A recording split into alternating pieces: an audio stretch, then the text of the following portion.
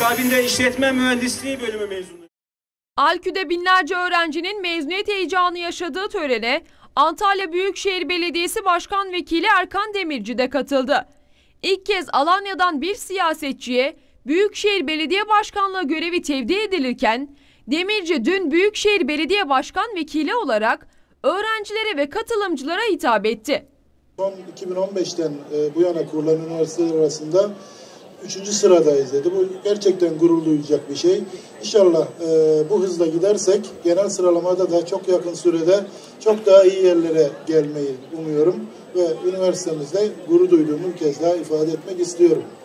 Alanya Belediye Meclis Üyesi ve Antalya Büyükşehir Belediyesi Başkan Vekili Erkan Demirci, Alanya Alaaddin Keykubat Üniversitesi'nin hukuk fakültesi hayaliyle başlayan, işletme fakültesiyle hayata geçen ve şu an 10 fakülteyle devam eden bir üniversite olduğunu belirterek konuşmasına başladı. Demirci, Alanya'nın turizmle anılan bir şehir olmasına rağmen artık bu algının yavaş yavaş kırıldığını ve öğrenci dostu bir kent olma yolunda ilerlediğine de dikkat çekti. Ta ben çok eski yılları hatırlıyorum. Hukuk fakültesi hayaliyle başlamıştı bu üniversite. Daha sonra işletme fakültesiyle e, başladı ve bugün rektör hocamızın söylediğine göre ondan 10 tane fakülteyle devam ediyor. 13 bin tane öğrenciyle devam ediyor.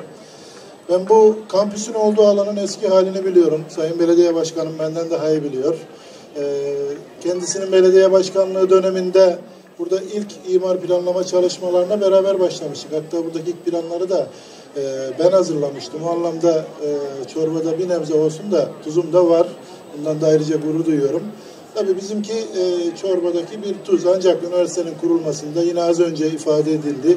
Dışişleri Bakanımızın, e, Alanya Belediyesi'nin e, ve e, oluşan kamuoyu talebinin çok ciddi e, katkısının olduğunu biliyoruz. E, herkese bu anlamda teşekkür ederiz. E, Alanya e, aslında turizmle anılan bir şehir ama e, üniversiteyle beraber bu algıyı da yavaş yavaş kıracağız. Turizm, ticaret ve üniversite beraber gelecek ve adına yakışan bir üniversite. Çünkü e, Selçuklu'ya başkentlik yapmış olan bir şehirden bahsediyoruz.